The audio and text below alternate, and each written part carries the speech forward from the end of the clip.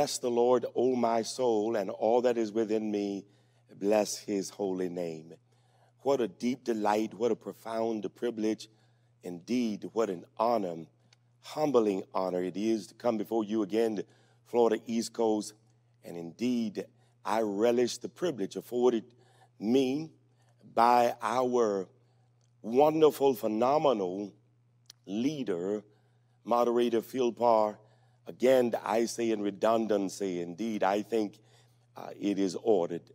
Thank you for your kindness and thank you for your trust and your deposit that would privilege me to share on this platform.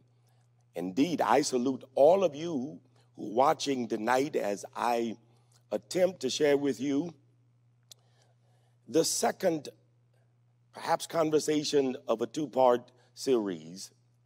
And of course, I commence with prayer. If you would pray with me a moment, and then we'll dive into Holy Scripture. Father, thank you again for the blessed privilege to share your word, to represent indeed God, your person.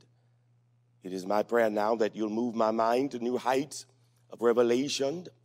And indeed, I pray that you'll grace my tongue with fluidity, revivify, Holy Spirit, my interior. God, speak to the end that your voice is heard, transcend mortal ambiguities, and in clarity, God, give voice. In the blessed name of Jesus the Christ, Amen.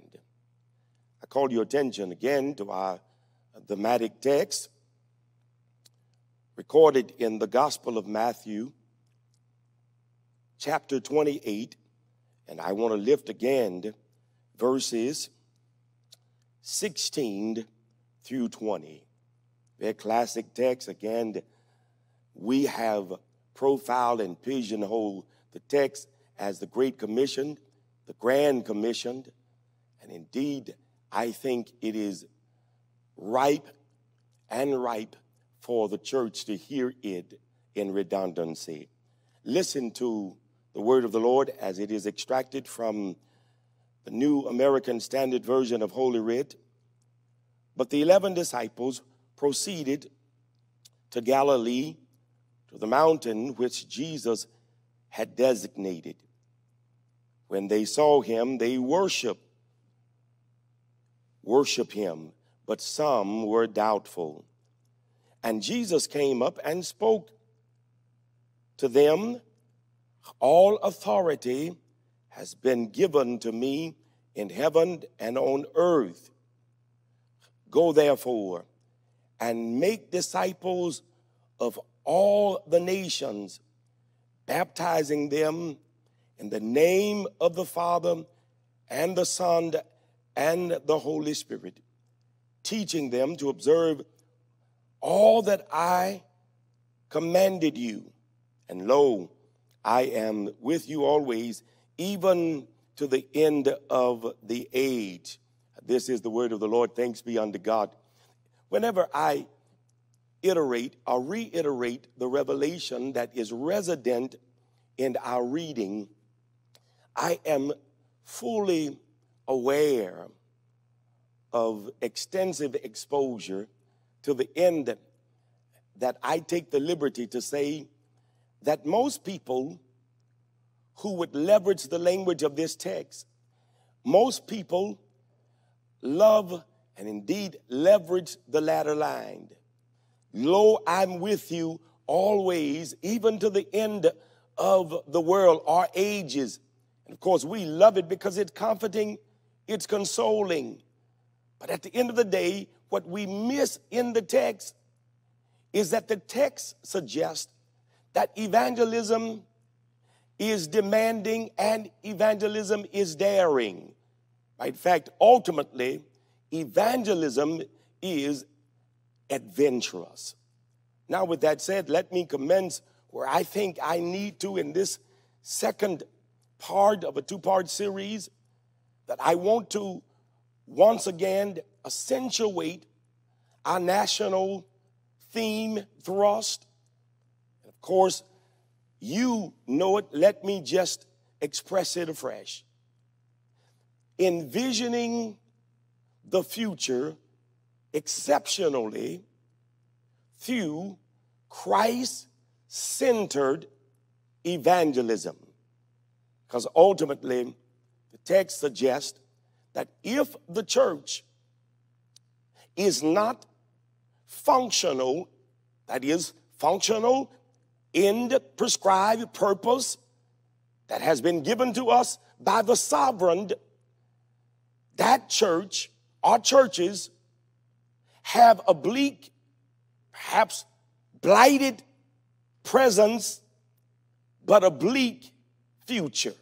In matter of fact, if you're not going to function evangelistically, you might as well start planning the funeral.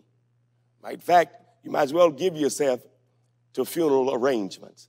I know that's not where you want to be, and so I've come to talk to you about how to avoid premature death, how to avoid sabotage and subversive activity. How do I avoid death? Hence, many of our churches are moribund, hence, dying, some on ventilators, perhaps potentially can be revived.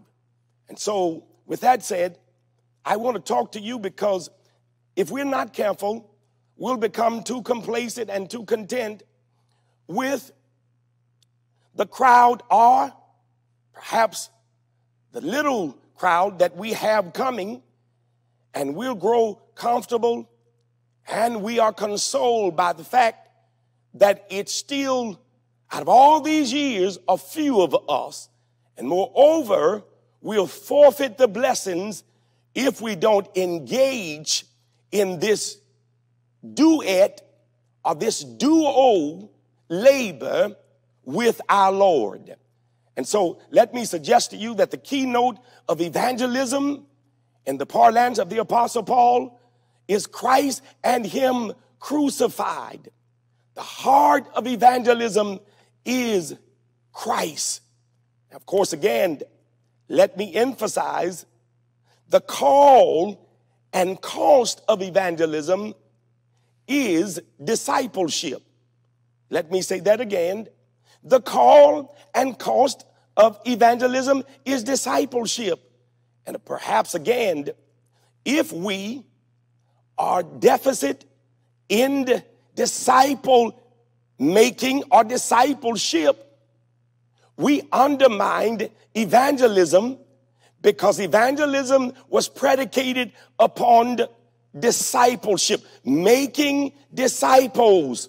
Now, that's key because a disciple, by definition, is perhaps a convert who is consciously committed to copy the character of Christ, suggesting that a disciple is one who embodies incarnationally the love of God in Christ to the end that a disciple becomes an incarnational phenomenon. Hence, we don't only speak for Christ, we represent Christ, we embody Christ, we are the body of Christ. When you understand your identity, you understand better your purpose in its truest expression. Now, last time I tried to express to you, and I'll say again, because I like the insights of that great uh, 20th century mystic, devotional writer, E.M. Bounds, who reminds us that while the church is looking for better methods and, and, and more machinery, God is looking for better men and women. In fact, E.M. Bounds would suggest to us that God's method or methods by which God operates is through men. Now that's critical because T.B. Kilpatrick, who wrote some years ago a book on New Testament evangelism, and he makes it clear to us that the power of God to save does not magically rest upon rites or book or an uttered phrase. That if the power of God is perhaps prevalent, it is because the power of God normally works upon men through men. Now, that's critical because if we're going to evangelistically, if we're going to evangelize, if we're going to disseminate the good news, the hope of the gospel, the glorious gospel of Jesus Christ, you and I must discern that evangelism is a duet. It's a duet. It's a duet. Hear me. You don't do it without Him, without Christ. And I to tell you this I don't care how shrewd, how crafty, how ingenious you are. Effective, efficacious evangelism is the result of a duet. It's the church in collaboration with Jesus. Now that's critical. I want to say that again. It's a duet. Now, if it's not a duet, you will perhaps maintain business as usual in these unusual times. Yes, you'll go through the routine. You'll go through your prescribed regiment. You, matter of fact, you will be run of the meal if you don't discern that you and I are called to a duet, that we're called to do evangelism in, hear this, collaboration with Christ. It's a duet. Now, if it's not a duet, you and I are subject to be docile and not dynamic. Now that's key because can I tell you that God has designed the church to be dynamic and yes, to be dynamic in worship as I talked to you last evening because I suggested that you cannot witness if you don't worship. And I suggested that if we're going to celebrate the gospel or celebrate Christ, it's through our adoration of Him. We have to worship Him. And worship has become, I suggested, the deficit, and I suggested the debacle of worship because I suggested you dispositionally, every man, every woman is designed for worship.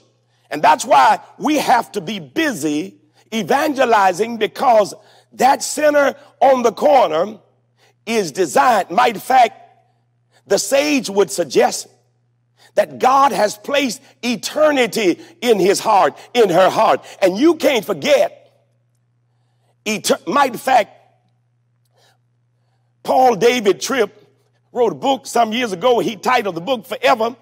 And of course, he says that many of us, many churches, many believers suffer from what he calls eternity amnesia, suggesting that we don't see church a life from eternity's perspective. When you see life from eternity's perspective, you understand that every individual is literally demonstratively distilled in dignity. In dignity, yes, because every individual has the imago Dei, the image of God. Every individual dispositionally has the designed for doxology or worship. And so I want to make it clear again that if we're going to be efficacious, we're going to be effective and efficient evangelistically in the spirit and discipline of evangelism, I want to say again, it has its commencement in celebration. If you can't celebrate God privately, personally, corporately, you will not give conversation to God publicly. You will not disseminate, proliferate this gospel if you are not rooted in reverence and revelation. If you don't worship God, you will relegate evangelism. Perhaps the Barna group would say, you will outsource evangelism as if it's for the church and not for you. So here's what I want to do with the time that I have tonight. I want to take us through now verse 18. Here's verse 18. And Jesus came up and spoke to them saying, I want you to hear, because you got to hear the declarative dictum of our Lord. Here's what Jesus said. It's declarative. He says, all authority has been given to me in heaven and on earth. Now, here's what the text indicates I give to you that Jesus declares his dominion. Now that's key for the church because it is in this text, in this passage, that he reveals our sanctioned and sanctification. It is in this text that he reveals our servitude and our significance. Let, let me read it again so you can get it. All authority has been given to me in heaven and on earth. What Jesus simply says is this, that I am dominant in every sphere of time and eternity. My power interpenetrates the planet. I am sovereign. I'm Lord. The grave death couldn't keep me. Might in fact couldn't hold me. Couldn't store me. I was raised on the third day and now I have all power in my hands. You say, why is that important? That's important because the dominion of God is what gives us our distinctives. In fact, we're distinguished distinctly. We are currently conditioned in time because there's no other entity whom the Lord has authorized for his biddings but the church. Now that's what, that's what makes us distinguish and distinctively, that's what sets us apart. We have divine sanctioned and sanctification. We've been set apart.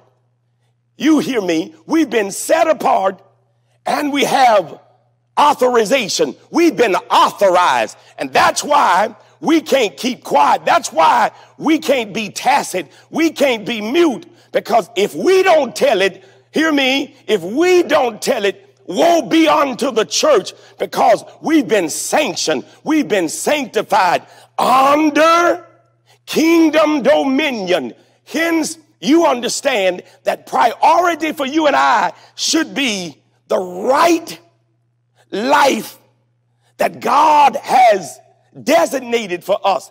And that is life in the kingdom under the dominion of Jesus Christ. Let me tell you why I love his dominion. I love his dominion because if you don't know his dominion, the danger of evangelism will detour or distract you from distilling the gospel message. You have to be daring because evangelism can be dangerous.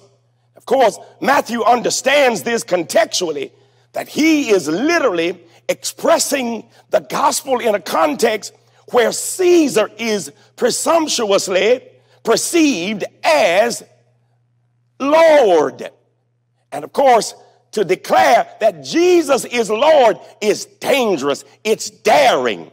But nonetheless, you and I are under the dictates of the Lord, hence his dominion. Now, let me read it again because there's a nuance that I have to share with you. All authority has been given to me in heaven and on earth. And what Jesus says is there ought not be any ambivalence, ambiguity. You ought not be hesitant Matter of fact, inexorably, you ought to engage in the work of evangelism because he says, I not only have dominion, but with my dominion, I have given you a deposit so that you can be dynamic, so that you can disseminate the evangel. Deposit? Yes. You remember, you've read it. Acts 1 and 8. You shall receive power after you've received the Holy Ghost and you're going to be witnesses unto me. Here's the point.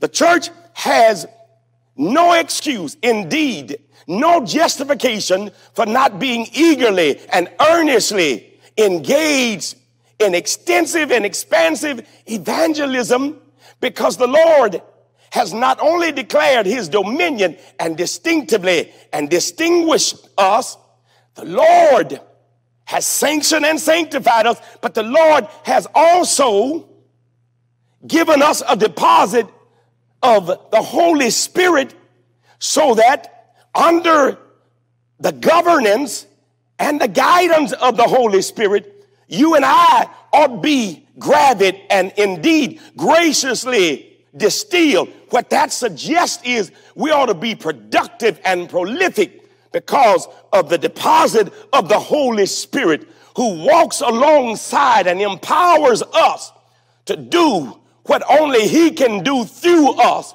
and that is bring witness to the power of God to save sinners. And so you hear it now. It is the dominion of God, according to this text. But it's not only the dominion of God. Here's what I see. You, get, you can't miss this.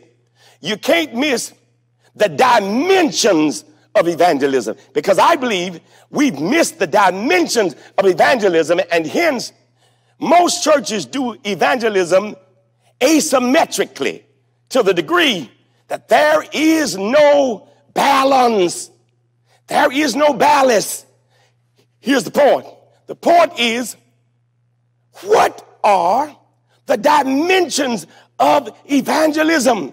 I, I, know you, you say, well, tell us, Kennedy, because I think you're making this more complex than it is. I'm trying to make it as clear as I possibly can. Here are the dominions, hear this, dimensions, dimensions that is, of evangelism. Jesus says, go, go therefore and make disciples of all the nations. Now, now let me tell you this. Evangelism is inclusive of both sharing the gospel, and that is vocally, vociferously. We keep on sharing it, but not only sharing the gospel, showing the gospel. Now, you got to hear me because evangelism for the church must be more than acute dictum or acute doctrine that we seek to didactically expose people to. No, we got to teach it doctrinally. We got to be sound, yes. Our dictum needs to be substantive. But I want to tell you, if all we have is doctrine and dictum, then the world remains dead in sin and trespasses. Here's the text. The text says you have to literally process the dimensions of evangelism. He says, you go, and as you go, he says, I want you to share this gospel because it is through the sharing of the gospel that men and women are saved. How can they hear without a preacher? Here's the point. Everybody evangelistically have to perceive not presumptuously, but humbly, that you are called to give voice to the gospel. But I'm telling you, giving voice to the gospel is just one dimension. Share the gospel verbally, vocally, vociferously. Share the gospel. Keep your mouth moving.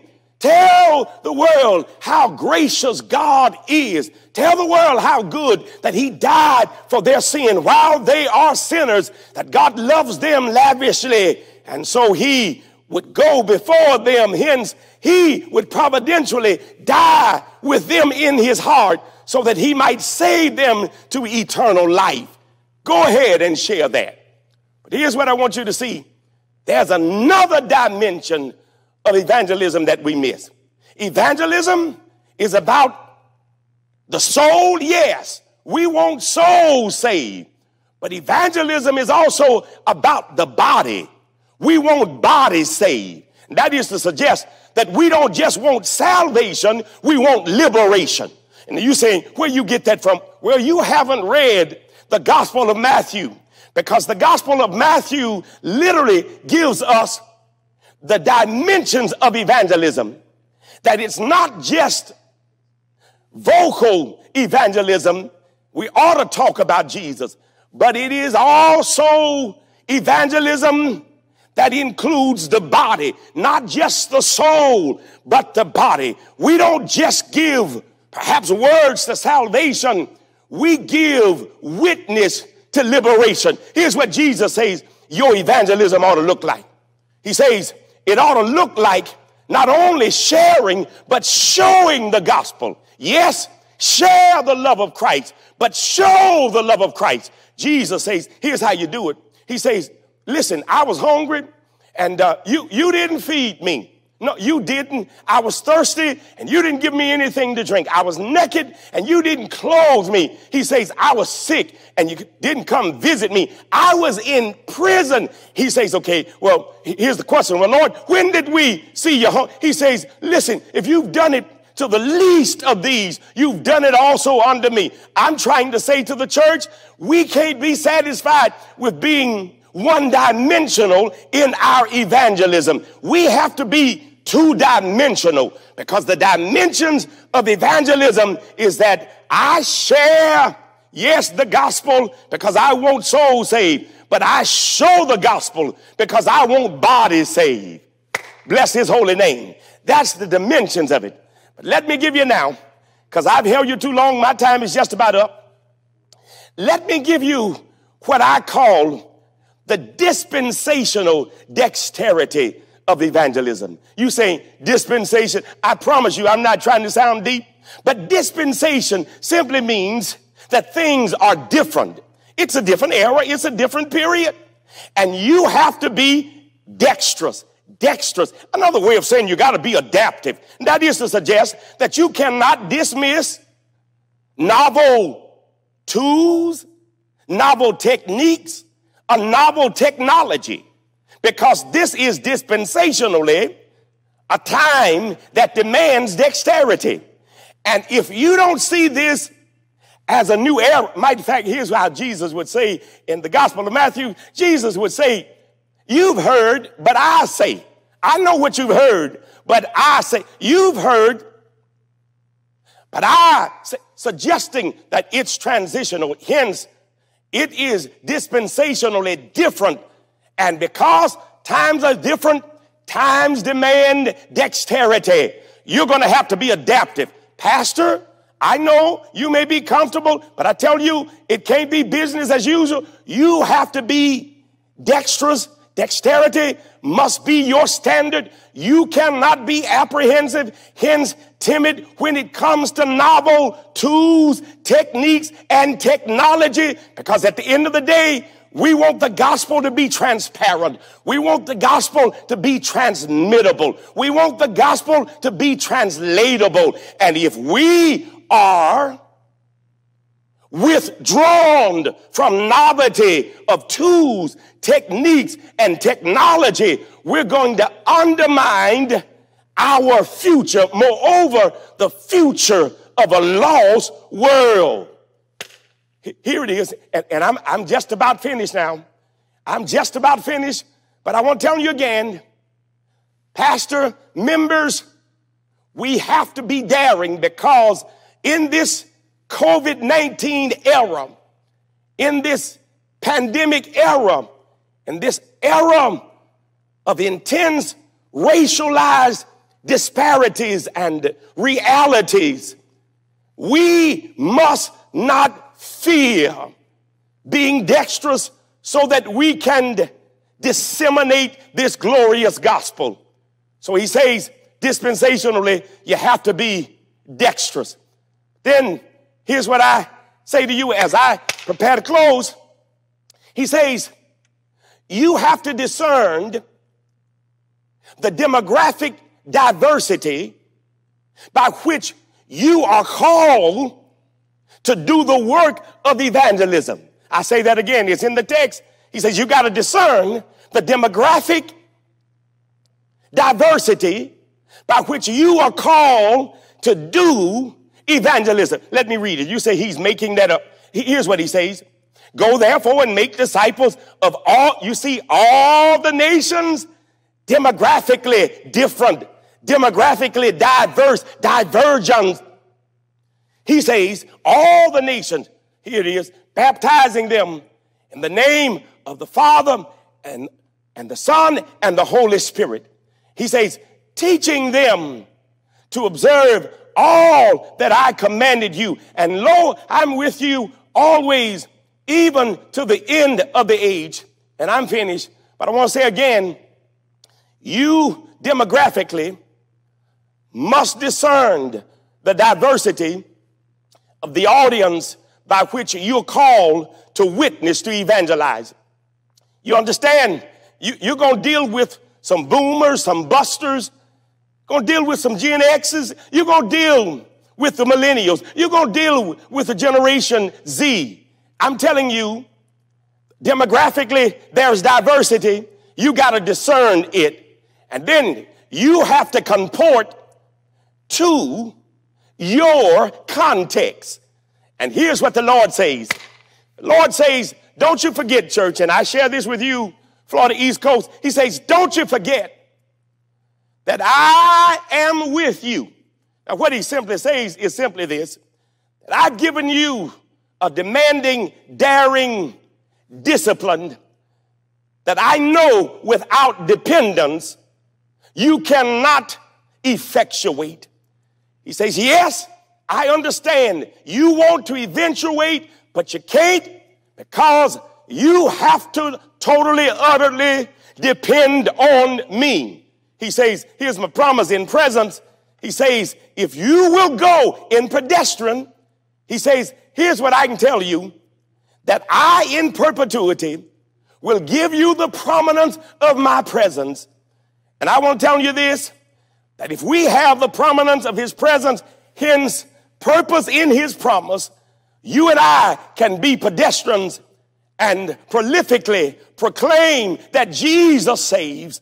And we don't have to compromise our conversation. Jesus saves and he saves from the guttermost to the uttermost. Jesus saves. And it doesn't matter where you've been, what you're in, perhaps what your desires are. Jesus saves, and we have a dependent Savior who will sojourn with us if we would but open our mouths, and share it, show it, and watch our Lord in power perfect his purpose.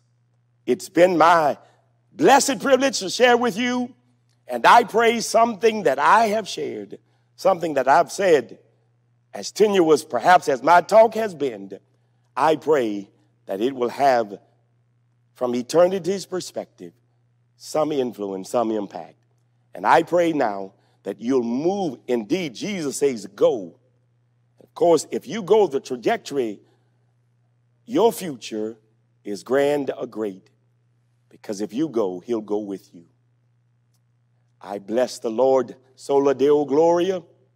To God alone be the glory. Thank you.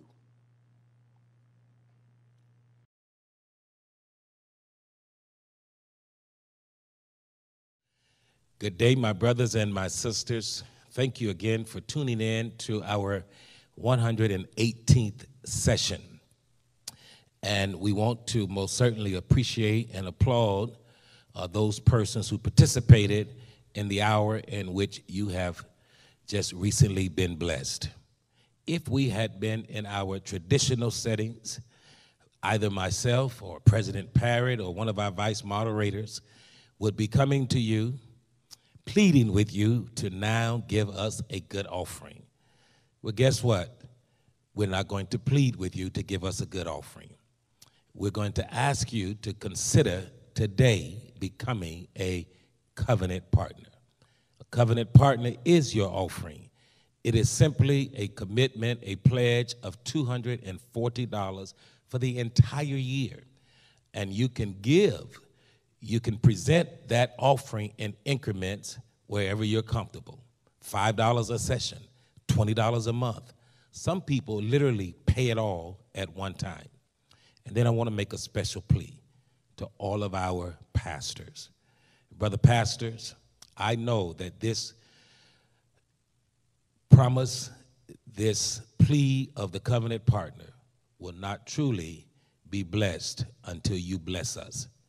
If each pastor will make a pledge and become a covenant partner during this session, I truly will be thankful of your efforts.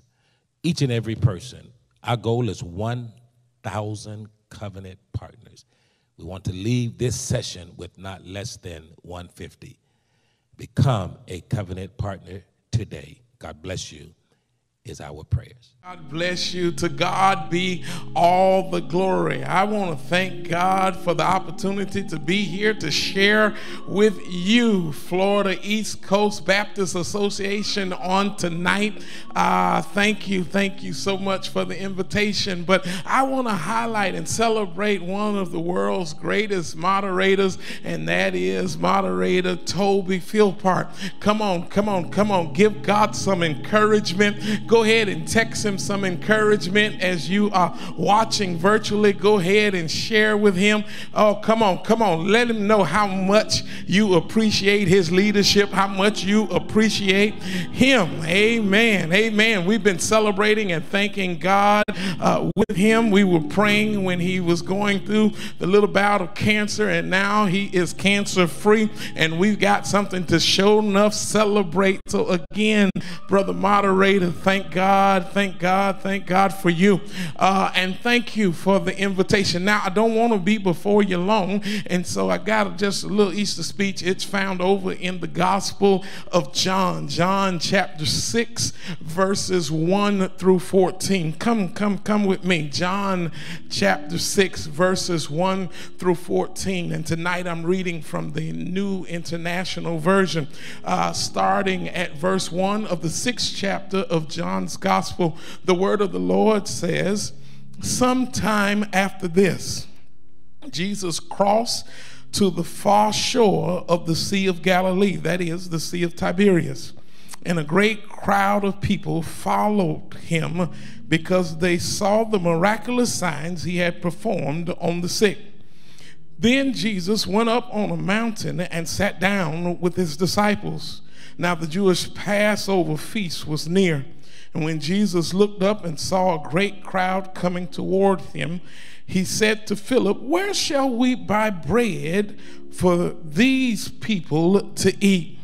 He asked this only to test him, for he already had in mind what he was going to do. Philip answered him, Eight months' wages would not buy enough bread for each one of them to have a bite. And another of his disciples, Andrew, Simon Peter's brother, spoke up Here's a boy with five small barley loaves and two fish. But how far will they go among so many? Jesus said, Have the people sit down. There was plenty of grass in that place, and the men sat down, about 5,000 of them. Then Jesus took the loaves, gave thanks, and distributed to those who were seated as much as they wanted. He did the same with the fish. And when they had all had enough to eat, he said to his disciples, Gather the pieces that are left over, let nothing be wasted. So they gathered them and filled 12 baskets with the pieces of the five barley loaves left over by those who had eaten. And after the people saw the miraculous sign that Jesus did, they began to say, Surely this is the prophet who is to come into the world. My brothers and sisters, tonight I want to talk to you from this thought living life without limits. Living life without limits. My brothers and sisters, there is a worldwide fascination uh, with television game shows. And out of all of the many television game shows that people love to watch, y'all, I've discovered that one game show has quickly risen to the number one rating. Catch this, not just in America, but all around the world. And if you haven't guessed it by now, the name of the game show, y'all, is Who Wants to Be a Millionaire? One of the parts, y'all, that has made this game show so popular is found in its very name. Who wants to be a millionaire? It is quite safe to say that most folk would love to be millionaires. And if you think I'm doubt, if you doubt what I'm saying, all you have to do is simply look at how long the Powerball lines were the other week when it reached a billion dollars. Yeah, lines so long I almost had to wait for an hour to get my. I'm sorry. Yeah, people were gathered in every store trying to get the lucky number. That's because most folk believe if they were were millionaires, they wouldn't have to worry about a thing. That if they were millionaires, they could do anything. However, those who've been millionaires for a moment can tell you that there are plenty of things uh, that money can't do. Uh, but it's the thought, I, I admit, it's the thought of what one can do if they were a millionaire. Uh, y'all, this is the belief uh, that you could go where you want to go, uh, have what you want to have, uh, and do what you want to do. Uh, basically, y'all, it's living life with without any limits.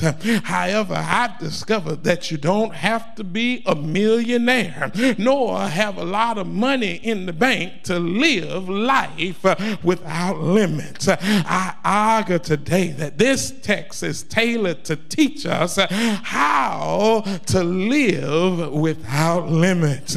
Y'all, this text that's before us this evening is one of the most popular miracle narratives of Jesus Christ. Y'all, it's so popular and important that it's the only one of Jesus's miracles that's recorded in all four of the Gospels Matthew, Mark, Luke, and John. Look at it. It's the largest of his miracles because in it, Jesus feeds the largest crowd, over 5,000, with one of the smallest lunches. However, I believe what makes this miracle so monumental is the way in which Jesus uses it to teach his disciples the key lessons to living life uh, without limits. Uh, please don't miss this. Uh, this crowd of hungry followers served as a test for the disciples. And depending on which gospel you're reading this narrative in, this seminary test that the disciples are taking is either in their first year or the last year with Jesus. Y'all, which means that this is either, this test is either their first test or their final exam. And if it's the final exam, which I believe that it is, then there is a reason this would give pause to Jesus. Because after three years with him, one would think that the disciples would readily know that there are no limits to what can be done and accomplished with God. So, in order to help them move beyond living limited lives, Jesus shows them and us how to live life without limits. Uh, look at it in this text. Jesus shows that to live life without limits, you must first be able to grasp the principle of releasing. I dare you to text somebody and say, You're going to have to release some stuff. Here it is in verses 5 and 6. The text says that when Jesus looked out and saw that a large crowd had arrived, he said to Philip, Where can we buy bread to feed these people. He said this to stretch Philip's faith. He already knew what he was going to do. Uh, y'all, this first part of the test deals with faith over finances. Uh, when we pick this miracle in John up, uh, this miracle narrative the disciples are going through, you'll discover that the disciples are already failing miserably with their final exam. Uh, Matthew, y'all, records that when asked about the hungry crowd, uh, that the that the disciples' response was one, this is a desert place. Two, the time is far spent. And three, they said, send them away. Y'all, they were failing because they didn't know the Lord's history. Here it is, their final exam, and they're failing uh, because they didn't know their Hebrew history. Listen to what they told Jesus. This is a desert place. Well, if they had been up on their Old Testament history, they would have learned ah, that God does his best work in desert places. Ah, they should have known ah, that he shows his might in desert places. Come on. Ah, ah you remember when Israel ah, was stuck at the Red Sea, couldn't go left, couldn't go right, couldn't go back. Ah, ah and they complained, and Moses prayed to God, and God parted the waters. So they walked across on dry ground. Where, where were they? Yeah, in the desert. You remember when they got to Marah and the water was too bitter to drink, and they complained about dying of thirst in the de- they were in the desert. Uh, you you remember when they were starving like Marvin, uh, wondering what they were going to eat, and Moses talked to God, and God fed them with manna in the morning and quails in the evening. Where were they? They were in the desert. By now, y'all, they should have known that the Lord does his best work in desert places. Not only were they not up on their Hebrew history, ah, but then they got even worse ah, because they didn't know who Jesus was. And they had the audacity to tell Jesus that the time was far spent. Please don't miss this. Y'all, they told eternity that he was out of time.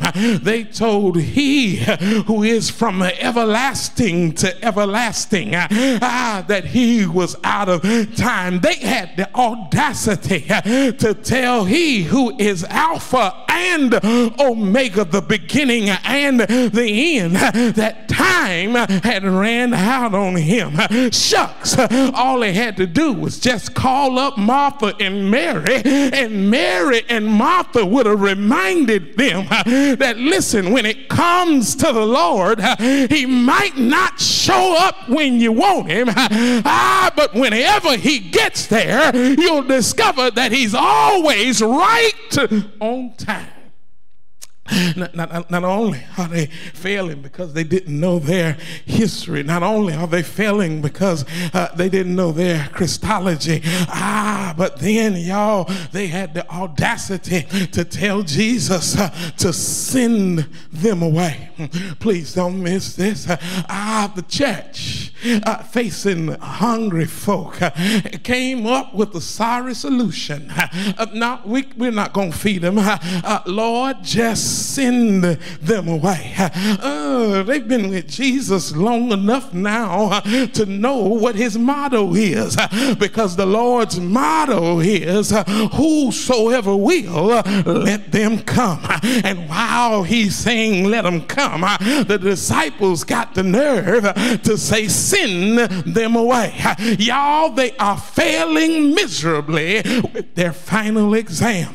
So in an attempt to help them, Jesus asked Philip, he says, Phil, where can we buy bread to feed these people? And Phil started counting on his fingers and, and his toes, and he started doing his arithmetic. And he, he said, Listen, listen, listen, Jesus, if we had 200 pieces of silver, if, if we had a year's worth of wages, uh, it wouldn't be enough to give any, all of them, uh, just one bite. I feel like most preachers and church administration uh, was looking for financial solutions solutions to a ministry problem. You missed that.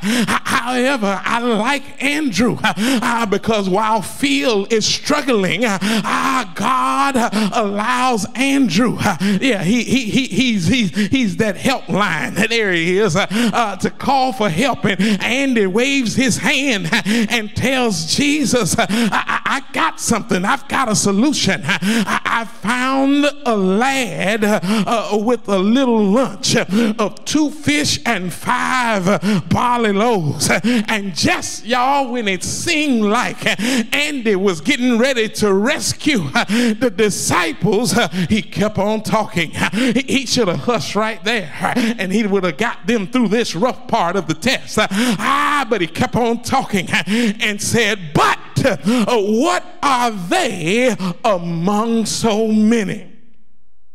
Uh, with the finances and the food, uh, they could only see the shortage. Uh, y'all, I, I, I, serve you record that they were working by sight and not by faith. Uh, please note, preachers, uh, that they failed to do the primary thing. Uh, please note, church leaders, that they failed to do the number one thing, and that was was they failed uh, to put it in his hands. Ah, there it is. That's the principle there. You must release what you have and put it in his hands. Ah, if my brother from another mother was here, Arthur Jackson, he would tell you you can't save your way out of shortage.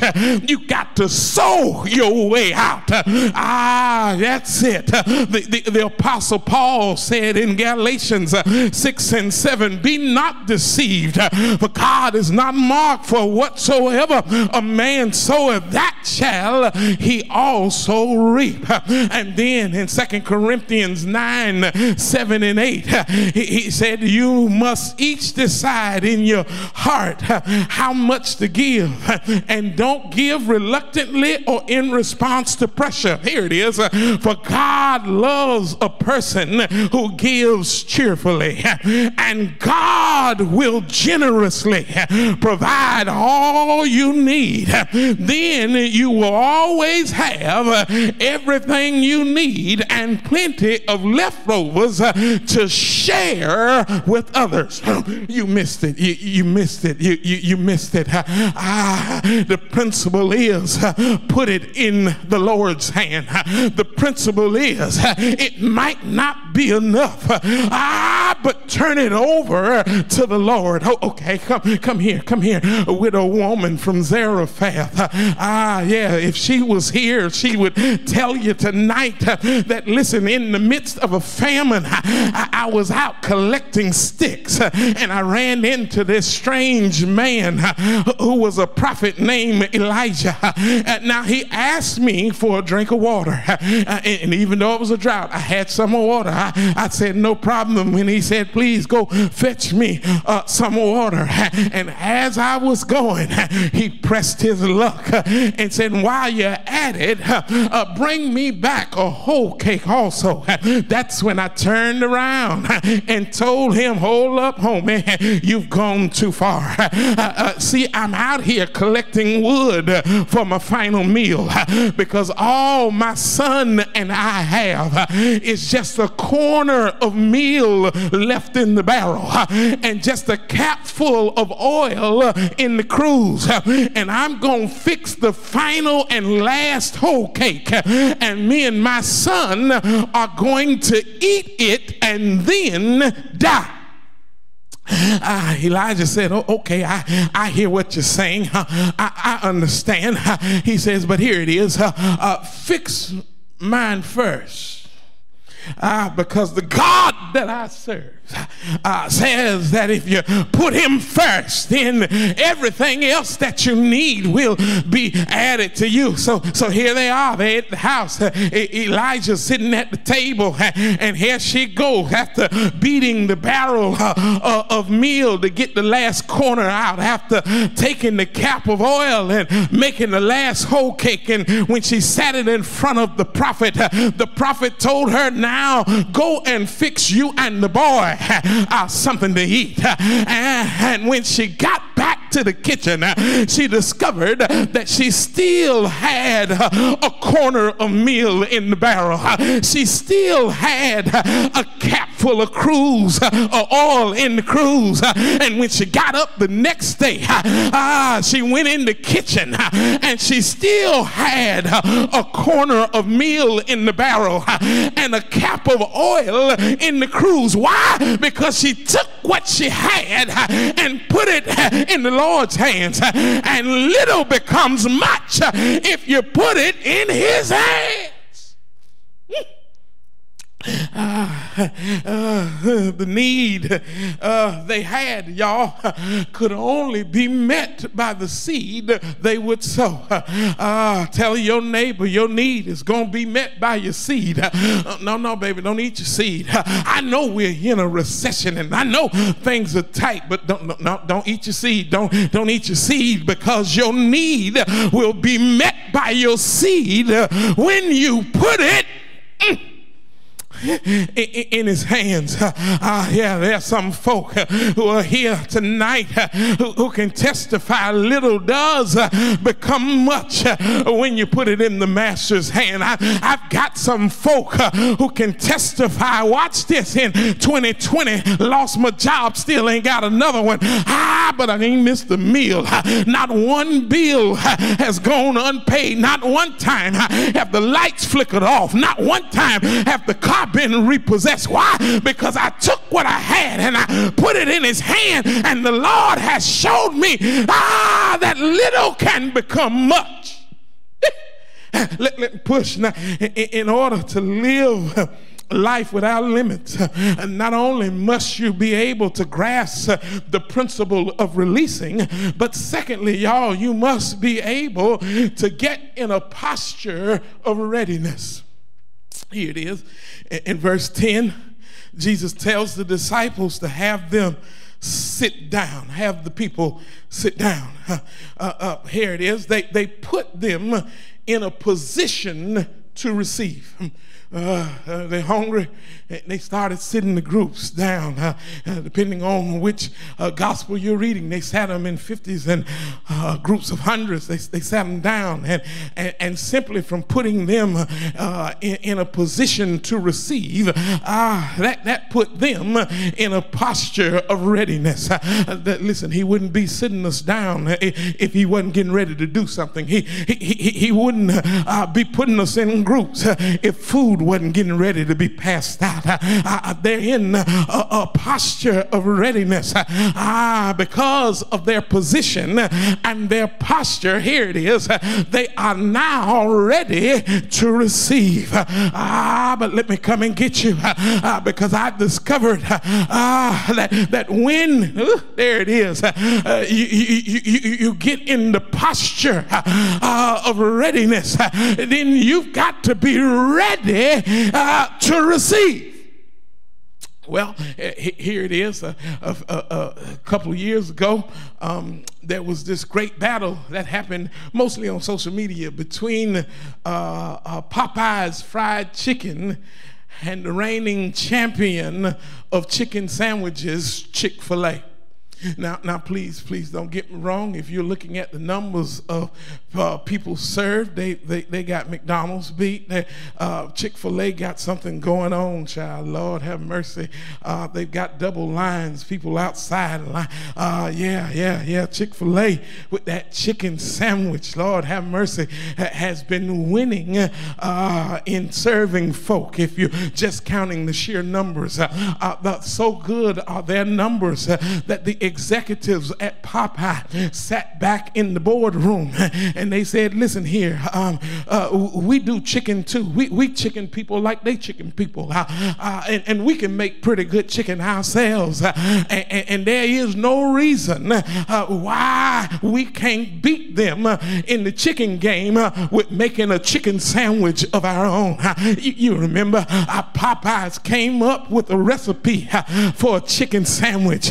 They rolled it out. My son called me and said, Dad, what, whatever you do, if you get a chance, you got to get over to Popeyes uh, and, and, get you one of those chicken sandwiches. I, I got the Popeyes lying down the street. Uh, I finally got up to the building uh, and got that sandwich. Uh, I said, can't be this good. It can't be this good. And I pulled over because I didn't want to drive while I was trying it. I pulled it out, and the doggone thing was that big. I said, well, it's bigger than a Chick fil A sandwich. I, I took the first bite, and juice ran all down my mouth. I said, oh, God, they own us something here. I, I, I trying to decipher was it white meat or dark meat? I don't know. Whatever it was, that chicken sandwich was good. Our Popeyes came out swinging on Chick fil A. Our Popeyes, y'all, uh, discovered soon after they came out with the sandwich um, that they weren't ready to receive all the business that was coming. Uh, I submitted unto them that you all should have took some lessons from Chick-fil-A. Chick-fil-A would have told you if you got a good chicken sandwich, you're going to need two drive-through lines. Chick-fil-A would have told them if you got a good chicken sandwich, you're going to have to put your drive-through attendants not on the inside but on the outside to take orders. And Chick-fil-A could have really helped them and told them, listen, not only do you need to put your attendance on the outside, but you got to get a better attitude than what y'all got over here at Popeyes. You got to act like you're glad to take somebody's order and not mad that you're at work today. Ah, but then they could have told them the final and best thing that they had to do. Here it is, Popeyes. Once you've done all of that, then you got to make sure that you have enough chicken sandwiches not to run out ah, Popeye's problem. Ah, they, they, they, they, they got in a posture of readiness. Ah, but they failed ah, to get in a position to receive all of that that was coming. Ah, I want to tell you ah, that make sure that when you sow your seed, ah, that you are expecting and ready for the overflow. When you sow your seed, make sure that you are ready for all that the Lord has for you. Ah, because when you put it in His hand, you ought to get ready for overflow. Let, let push. In, in order to live life without limits, not only must you be able to grasp the principle of releasing and able to get into posture of readiness, but then you must also be able to give God the proper response. Somebody shout, give him the right response. In, in verse 11a and 11b, the text says that Jesus took the loaves, gave thanks, and took the fish and gave thanks. Uh, here it is, y'all. He gave thanks in spite of the quantity. Uh, please don't miss this. Uh, with only two small fish, uh, Jesus still uh, thank God. You, you, you missed it. He, he's only got two small fish, but with two small fish, he still told God, Thank you. Uh, why give God thanks over two small fish with a crowd like this? I, I submit unto you that even though two is a long way from 5,000, it's still greater than zero. You miss your shout. Ah, he had something to work with. Ah, it might be small, but that's all right with God. The Bible says, despise not small beginnings. Ah, you got to be faithful over the little. Ah, so God can make you ruler over much. Not only did he thank God in spite of the quantity, but then he thanked God in spite of the quality with just five barley loaves, Jesus gave God thanks. The text says, y'all, that the bread was made from barley. Please don't miss this. Uh, barley bread is barely bread. Uh, barley, y'all, is the cheapest uh, type of grain that you could find from farmers.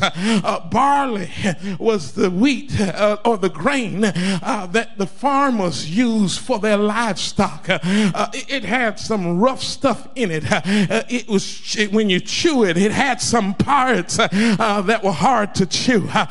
Barley, y'all, was known as poor man's bread. ah, but Jesus still gave. Th- you miss your shout. that no matter how barely bread, barley bread was, Jesus still told God, "Thank you." Ah, let me come and get you. Ah, sometimes you can't get hung up uh, on what the quality is. Uh, and you got to just thank God because you got something. I remember when my brother and I were young, my father came home with an old beat up brown Buick. Uh, he drove up into the driveway and we were scratching our heads. Uh, wonder where dad got that from. Uh, he came in the house. He called uh, my brother and me uh, to him. He took the keys and put it in my brother's hand. He said, I went and got y'all a car. You can go to school and go where you want to go.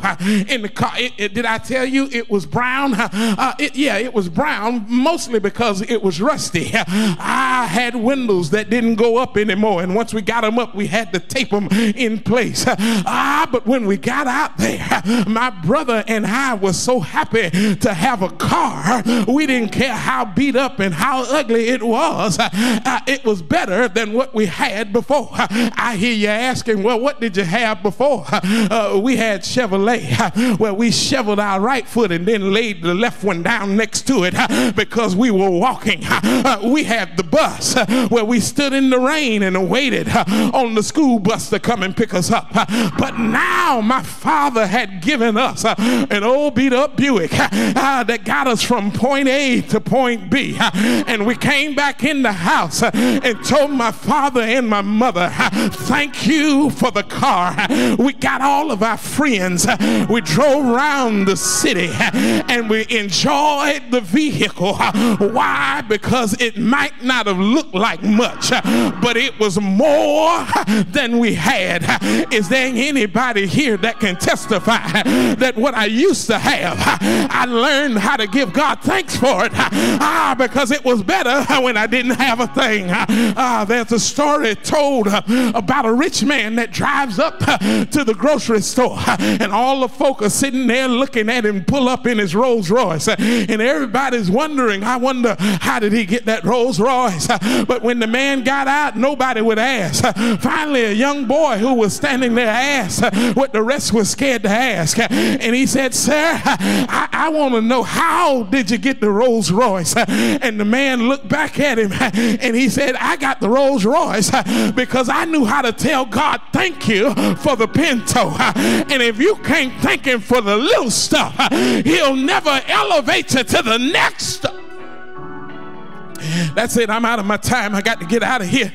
In order to live life without limits, not only must you be able to grasp the principle of releasing, get in a posture of readiness, give God the proper response, but finally, to live a life without limits, you must be able to gather up the proof of His reliability. Uh, somebody shout, I've got proof that He's reliable. In verses 12 and 13, the text says, when they had all had enough to eat, he said to his disciples, Gather the pieces that are left over, let nothing be wasted. And so they gathered them and filled 12 baskets with the pieces of the five barley loaves left over by those who had eaten. Please don't miss this. The first thing I see on my way out of here is that he had, they had failure and favor. Uh, Ah, y'all, here it is. Ah, the disciples had failed the test miserably. Ah, but all failure ain't bad failure because sometimes failure is the fuel you need to get you to your success. Uh, let me come and get you. I remember when I turned 16 and I went down to get my driver's license, you, you know, my permanent ones. And I got in there and I, I took the written test. Yes, I can parallel park with the best of them. Then I got inside and I had to take the written test. I had been studying the book for over a year. I'm clicking through the test and I'm getting everything right. And then finally I get to road signs and boom, I see a sign that I'm not sure about. Uh, well, let me come and get you. It was a yellow sign, and on this yellow sign, there were uh, two squiggly lines. Uh, and the choices were uh, uh, two that I knew weren't, but, but here's where I struggled because one choice uh, was winding road, and the other choice was slippery when wet. And so I looked at it and looked like tire prints. So I said, surely it's winding road. And I click winding road. A few signs later, I come to a solid arrow, that snake going up. Choices once again. Two were winding road or slippery when wet. I thought to myself, well, if the other one was winding road, then surely this must be slippery when wet. I, I got those two answers wrong. And, and, and, watch this, they were the only two I got wrong. And that was when I was 16. I'm 52 now. Uh, but let me help you. I've never missed them again because I missed and failed on those two on the test. I since have learned that the solid line is winding road and the double line is slippery when wet. Why? Because I learned from my failure. And I believe I got some folk here who can testify that you've got some failures in your past ah, that have helped to propel you to your success. Uh, but not only that, but I saw favor after failure. Uh, please don't miss this. The doubting disciples, uh, uh y'all who put nothing in, are blessed by Jesus to take 12 baskets out. Please, please don't miss this. When Jesus asked them, How shall we feed them? Uh, Judas grabbed the money bag tighter. They said, mm, We ain't got no money, we ain't got no money, we ain't got no money. And as a result, they didn't put anything of theirs in the kitty. Uh, and so, if you didn't put in, the miracle is that even though they didn't put in, they got out. Let me help you. I was in college, and when you're in college, uh, yeah, we get together on the weekend and, and we'd all put our money in so we could have some drinks for the party. Ah, but we took note of those who didn't put anything in, and we told them, now, now listen, because you didn't put anything in, Uh, don't let me catch you with anything other than chasing. I, I better not see uh, you with one bottle of something uh, because you didn't put in anything. You, you are on soda and water for the rest of the night because the rule is in order to take out, you got to kick in. Ah, but what I like about Jesus is they failed to put anything in. But even after failure, he gave them favor and allowed each one of them to get a basket full on the back end. Well, here's where I really shout because out of that 12 is Judas, who Jesus already knew was going to betray him. And even knowing the low down, dirty rascal he was, he still blessed him with favor to have a basket of his own. Ah, and for no other reason, you ought to shout because God gives us favor after failure. Well, that's all I got. Y'all, Jesus is leaving his disciples uh, not long after the test. That's why I believe this was the final exam, and he's getting ready to leave them and go back to the Father. But before he leaves, he wants them to catch some stuff. And the reason he tells them to get 12 baskets full is because the baskets are the proof of his reliability. Ah, he left them with proof that with God they can live life without limits. He left them with proof that they there is nothing too hard for our God. He left them with proof that there is never a time that our God won't come through. He left them with proof that after you've done all that you can do, put it in his hands and watch him do what what you couldn't do. That's all I got. Good evening, Florida East Coast, and thank you real kind. But before I go, I'm reminded of the hymn writer who summed it up perfectly when he asked the question Have you any rivers that seem uncrossable? And have you any mountains uh, that you cannot uh, tunnel through. Uh, well, God specializes in things that were thought impossible, and He can do with no other power, no other Holy Ghost power can do. That's all I got. But if I could get you to encourage somebody in the midst of the pandemic. I dare you to find somebody and say to them, I don't know what you're going through. I don't know how rough life has been in the pandemic, but here's what I got. Be not dismayed, whatever be tied. God will take care, take care of you beneath his wing where love abides. God will take care of you. That's all I got. But I'm living life without limits. I'm living life without limits because I know that the Lord can do everything but fail. Is there anybody here that can testify? Won't He make a way out of no way? Won't He put food on your table? I know He's able. And he will do what other folk thought couldn't be done. I believe I got some walking testimonies uh, who can testify that look at me, you're looking at a miracle.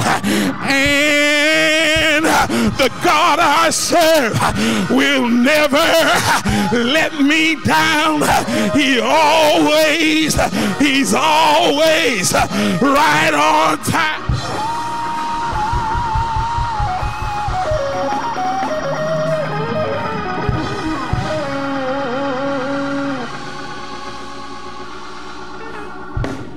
Even in a pandemic, you can live life without limits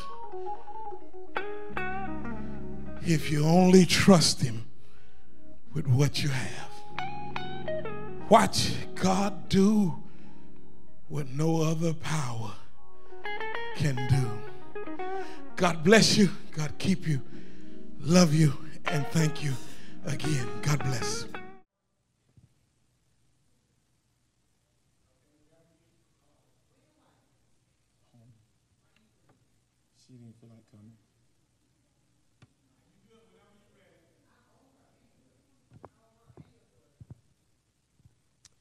God bless you, my brothers and sisters. We are trusting and hoping again at this time of invitation that you certainly uh, have been encouraged by our God. Listen, brothers and sisters, I'm we are a part of what we believe one of the greatest associations this side. Evident of that is by the by way of the message that you just heard. We are we are excited about how God has blessed us with all of the talent that He's get, blessed us with. And here we are, extending to you the invitation. Why? Because we believe that you need a covering in your life. We're trusting and hoping that this message has touched you in such a manner that God will lead you to become a part of some Bible believing, Bible teaching church. How do we do that? Well, if you notice on your side of your screen, there is a chat box in that chat box, you can simply type in your information. Type in that information in that chat box. Our, one of our uh, locators will, uh, will notice this information, certainly uh, adhere to this information, and respond to this information. We're encouraging you to do that because we're not on a crusade for Christ, but our job, one of the missions of this, our church, is evangelism. We, we, we, we deal with mission, we deal with education, but I think one of the best part is evangelism. And evangelism is a part of uh, what we're doing right now. So if you're encouraged to be connected with one of our churches, we encourage you to connect today. As far south as uh, Florida City, far north as Cocoa, full of churches ready to receive you. Will you come? God bless you.